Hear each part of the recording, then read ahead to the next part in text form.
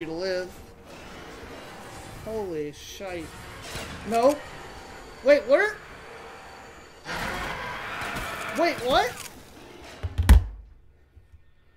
What? Did you just, like, spear me from above?